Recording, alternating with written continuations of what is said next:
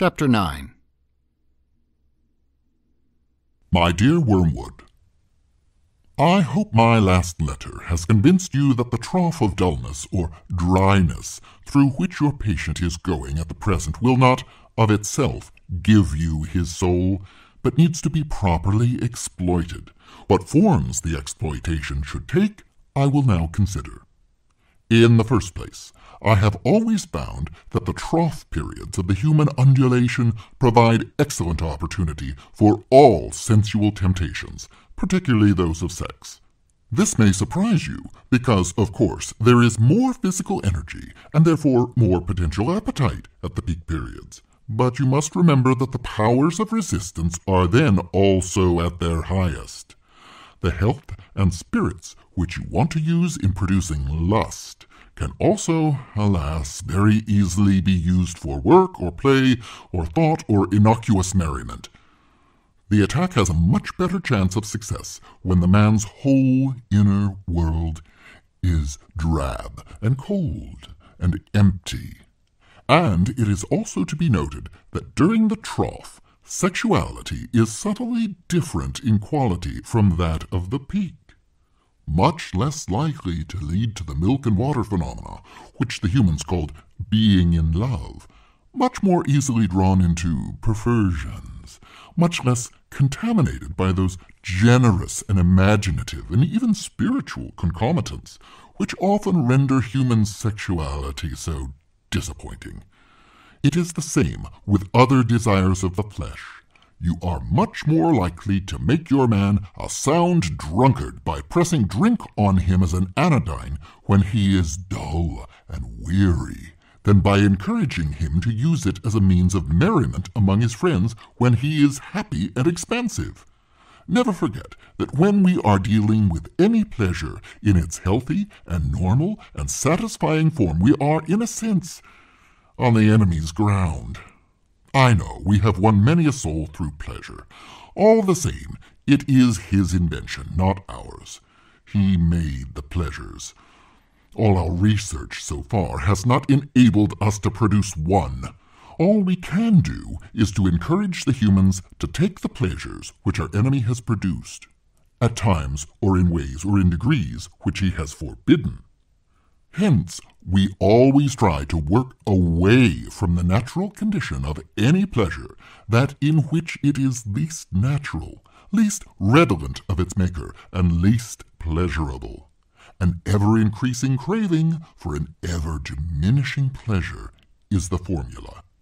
It is more certain, eh, and it's better style. To get the man's soul and give him nothing in return, that is what really gladdens our Father's heart. And the troughs are the time for beginning the process. But there is an even better way of exploiting the troughs. I mean through the patient's own thoughts about it. As always, the first step is to keep knowledge out of his mind. Do not let him suspect the law of undulation let him assume that the first ardors of his conversion might have been expected to last and ought to have lasted forever, and that his present dryness is an equally permanent condition. Having once got this misperception well fixed in his head, you may then proceed in various ways. It all depends on whether your man is of the desponding type who can be tempted to despair, or of the wishful thinking type who can be assured that all is well. The former type is getting rare among the humans. If your patient should happen to belong to it, everything is easy. You have only got to keep him out of the way of experienced Christians, an easy task nowadays, to direct his attention to the appropriate passages in Scripture, and then to set him to work on the desperate design of recovering his old feelings by sheer willpower and then the game is ours. If he is of the more hopeful type, your job is to make him acquiesce in the present low temperature of his spirit and gradually become content with it, persuading himself that it is not so low after all.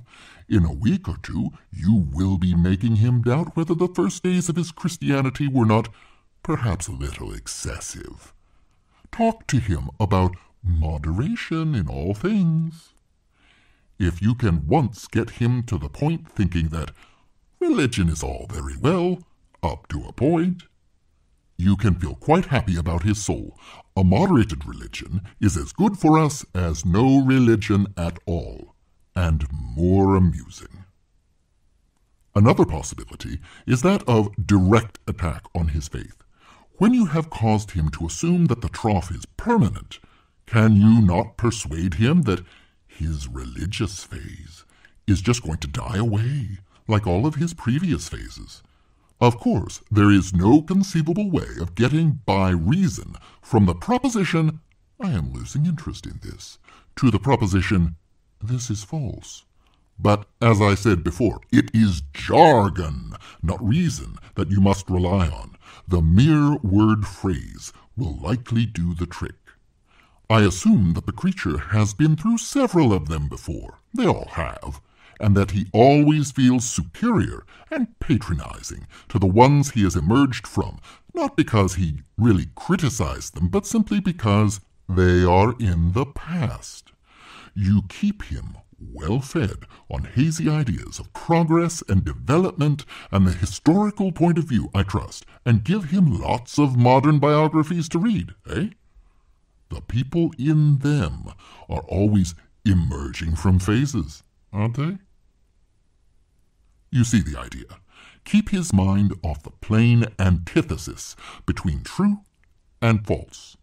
Nice, shadowy expressions. It was a phase. I've been through all that.